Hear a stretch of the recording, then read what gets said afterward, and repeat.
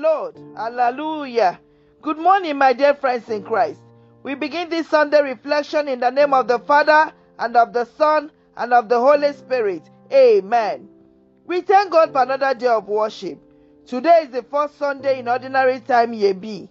And our reading is from the Gospel of Mark, chapter 1, from verse 21 to 28. The topic is titled, The Holy One of God.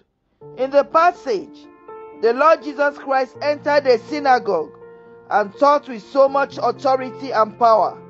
A synagogue is a church of or a place of worship. His listeners were so surprised at his teaching. In fact, the power of God was so much present that a man with an unclean spirit in the synagogue became so uncomfortable that he had to confess that the Lord Jesus Christ is the Holy One of God. Hallelujah. Amen. He recognized that Christ is the Messiah sent by God. They knew that this is a prophet and a teacher with a difference.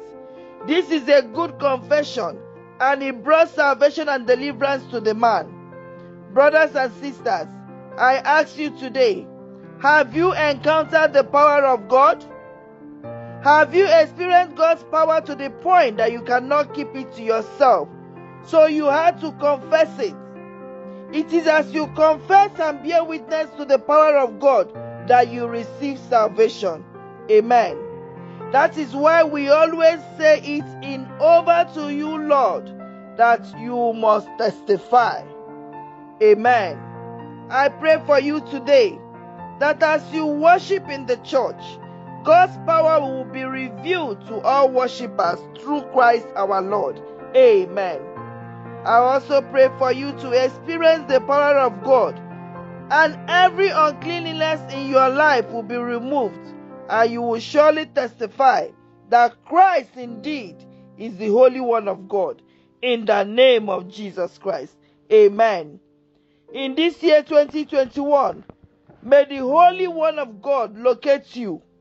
May the Holy One of God touch you. May the Holy One of God see you through in everything that you do in Jesus' name. Amen. Happy Sunday and have a fruitful week ahead. You are surely blessed. Amen and amen. Thank you, Jesus. Remember to keep safe. I tell you again, please remember to keep safe. God bless you.